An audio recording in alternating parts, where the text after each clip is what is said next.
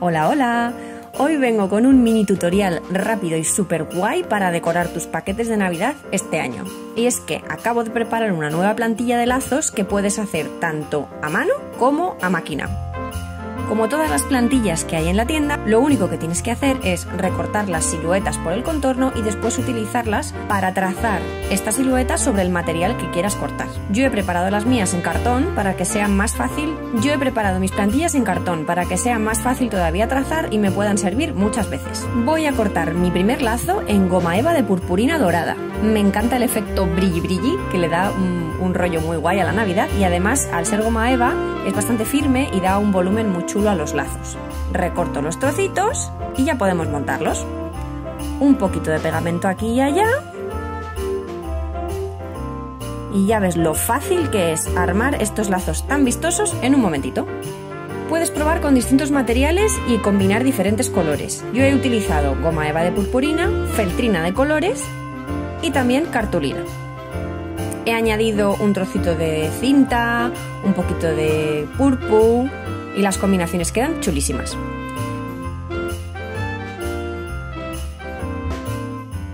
Si tienes máquina de corte, también tienes disponibles junto a la plantilla PDF los archivos SVG.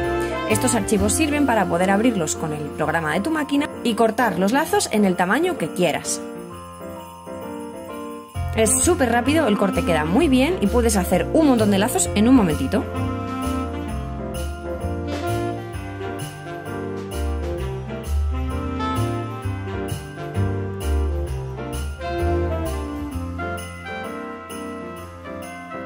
Dependiendo del material que utilices para tus lazos, tendrás que tener en cuenta la herramienta que necesitas.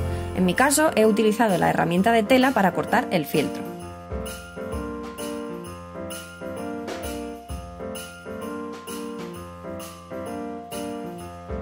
Me encanta la feltrina, que es un tipo de fieltro especial más indicado para manualidades y me gusta mucho porque es muy fina pero tiene bastante cuerpo, es decir, queda un poco rígida.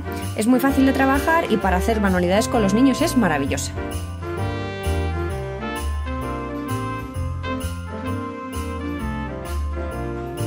Si además te apetece hacerte un accesorio guachi para estas navidades, puedes añadir un imperdible por la parte de atrás.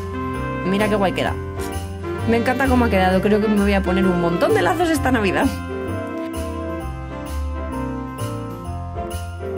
Ahora vamos a preparar los paquetes. Aquí te enseño la colección de papeles estampados Candy Christmas. Está también disponible en la tienda online si te gusta, con un montón de, de diseños a juego, con unos colores muy chulos.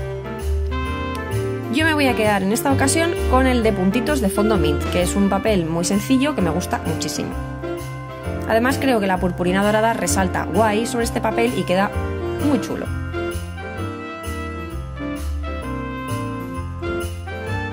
Lo primero que voy a hacer va a ser empaquetar mi regalo con el papel. He medido la cantidad de papel justa que necesito para hacer el, el empaquetado y ahora con un poco de celo voy a cerrar todo el paquete.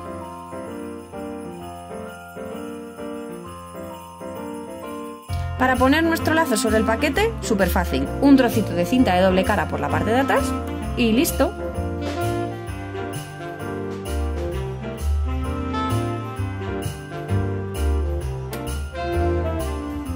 No me digas que no queda chulísimo este paquete y lo sencillo que ha sido prepararlo.